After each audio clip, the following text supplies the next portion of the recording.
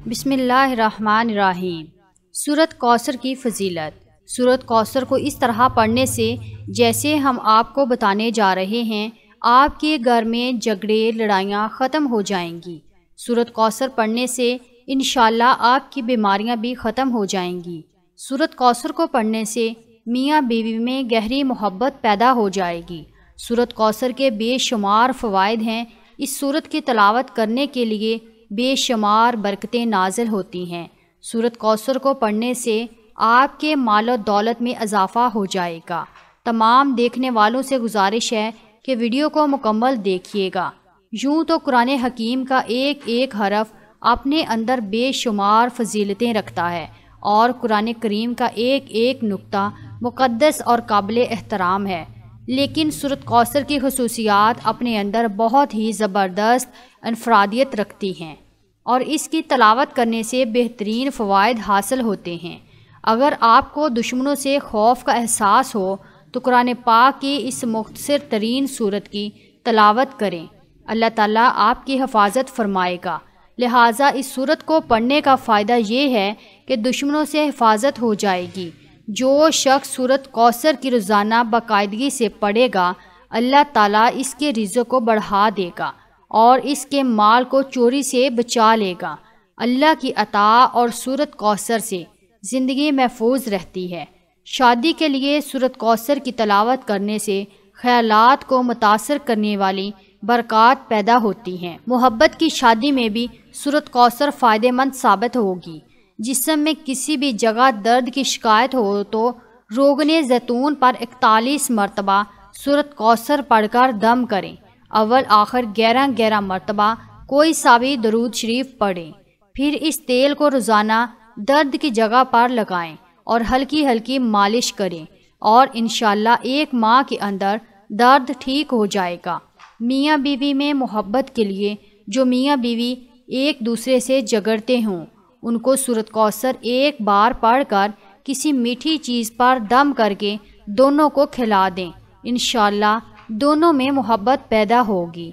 अगर लड़ाइयाँ ज़्यादा होती हों तो इस अमल को एक माह में चार मरतबा ज़रूर कीजिएगा। रिज़ की फरावानी के लिए, अगर कोई शख्स रिज़ की तंगी महसूस करता हो तो उसको चाहिए कि नमाज़ तहजद के वक्त तहजद से फारग होने के बाद इकतालीस मरतबा सूरत कौसर की तलावत करे और अवलो आखिर ग्यारह ग्यारह मरतबा कोई साबी दरूद शरीफ पढ़ ले। इस अमल को चालीस दिन तक जारी रखें। इन रिज़क में खूब इजाफ़ा होगा और आमदनी में खूब खैर बरकत होगी। औलाद नरीना के हसूल के लिए। औरत जब हैज़ से पाक हो जाती है तो इसके तीन दिन के बाद दोनों मियाँ बीवी रोज़ा रखें और इफ्तार से पहले सात मरतबा सूरत कौसर पढ़ कर दूध पर दम कर दें। फिर इस दूध से दोनों मियाँ बीवी अफ्तार करें और रात को दोनों मियाँ बीवी हम बिस्तरी करें। इन हमल करार पाएगा और लड़का पैदा होगा कर्ज़ की अदायगी के लिए। अगर कोई शख्स मकरूज़ हो और कर्ज़ की अदायगी की कोई सबील ना हो तो उसको चाहिए कि सूरत कौसर की तलावत रोज़ाना चालीस मरतबा करें। अव्वल, आखिर चालीस चालीस मरतबा दरूद शरीफ पढ़ें। कोई सा भी पढ़ सकते हैं। इस अमल को लगातार चालीस दिन तक करें। इन कर्ज से निजात मिल जाएगी और गैब से कर्ज़ की अदायगी के इसबाब पैदा हो जाएँगे। इम्तहान में कामयाबी हासिल करने के लिए अगर कोई तालब इलम ये चाहता है कि वो इम्तहान में आला नंबरों से पास हो तो उसको चाहिए कि तीन मरतबा। सूरत कौसर की तलावत करें। अव्वल आखिर तीन तीन मरतबा दरूद शरीफ। कोई सा भी पढ़ सकते हैं और इम्तहान में कामयाबी की दुआ करें। इन इम्तहान में आला नंबरों से पास हो जाएँगे हासदों के हसद से बचने के लिए। अगर कोई शख्स हासदों के हसद से परेशान हो और इसकी हाय हाय से कामों के अंदर रुकावटें पैदा हो रही हों तो उसको चाहिए कि नमाज़ फ़जर की सुनतों और फ़र्ज़ के दरमियान। सूरत कौसर एक बार पढ़े, अव्वल आखिर सात सात मरतबा कोई साबी दरूद शरीफ पढ़े और हासदों के हसद से बचने की दुआ करें। इस अमल को इकतालीस रोज़ तक जारी रखें। इन हासदों के हसद से निजात मिलेगी। मुराद पूरी होने के लिए अगर किसी शख्स की कोई ख़ास मुराद हो जो पूरी ना हो रही हो तो उसको चाहिए मगरब की नमाज़ के बाद सात मरतबा सूरत कौसर पढ़े। अव्वल आखिर सात मरतबा दरूद शरीफ पढ़ें। फिर सजदे में जाकर दुआ करें इन सात दिन के अंदर अंदर मुराद पूरी हो जाएगी।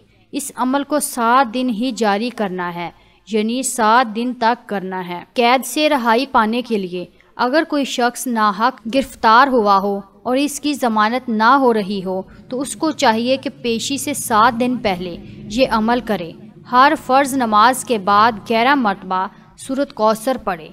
हर बार सूरत कौसर की तलावत करे अव्वल आखिर में ग्यारह ग्यारह मरतबा कोई सा दरू शरीफ पढ़े। फिर अपने दोनों हाथ पर दम करके दोनों हाथों को अपने चेहरे पर मल लें और अपनी रिहाई की दुआ करें। इन रिहाई नसीब होगी। रोज़मर्रा की ज़िंदगी में तरक्की के लिए सूरत कौसर की तैंतीस मरतबा तलावत करें। इन आपके मसाइल हल हो जाएँगे। साहब माल और साहब वक़ार बनने के लिए अगर कोई शख्स साहब माल और साहब वक़ार बनने का ख्वाहिशमंद हो तो जुमे के दिन नमाज़ जुमा से फारग होने के बाद दो रकत नमाज़ इस तरह पढ़ें कि हर रकत में सूरत फातिहा के बाद सूरत कौसर पढ़ें। इन इस अमल को पाबंदी से करें। दौलत भी बढ़ेगी और इज़्ज़त वक़ार में भी ज़बरदस्त इजाफ़ा होगा। अहदे की बहाली के लिए अगर कोई शख्स अपने अहदे से मजूल हो गया हो तो उसको चाहिए कि नमाज़ फजर के बाद और नमाज़ इशा के बाद सात मरतबा सूरत कौसर की तलावत करें। अव्वल आखिर सात सात मरतबा कोई सात रोज शरीफ पढ़ें। और अपने अहदे की बहाली के लिए दुआ करें लड़की की जल्दी शादी करने के लिए। यह शादी ना हो रही हो, अगर किसी लड़की की शादी ना होती हो और अच्छे रिश्ते ना आते हों तो लड़की को चाहिए कि जुमे के दिन ईशा की नमाज़ के बाद इकतालीस मरतबा सूरत कौसर की तलावत करें। अवल आखिर ग्यारह मरतबा दरूद शरीफ पढ़ें और अपनी शादी की दुआ करें। इन अच्छे रिश्ते आना शुरू हो जाएँगे। अगर किसी शख्स को किसी ख्वाहिश की ज़रूरत हो तो सूरत कौसर इसकी हाजत पूरी करने के लिए सबसे ज़्यादा फ़ायदेमंद है। सूरत कौसर कुरान मजीद की मुख्तर तरीन सूरत है। इस सूरत को मुसलमानों में खुशी और तकमील पेश करने के लिए समझा जाता है।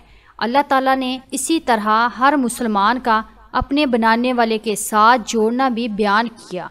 दुआ है कि अल्लाह ताला हम सब की नेक हाजात पूरी करे और हमारी तमाम दुआएँ अपनी बारगाह इलाही में कबूल और मंजूर फरमाए। आमीन सुम आमीन। तमाम नाजरीन से गुजारिश है, कमेंट बॉक्स में आमीन ज़रूर लिखें। वीडियो पसंद आए तो वीडियो को लाइक कीजिए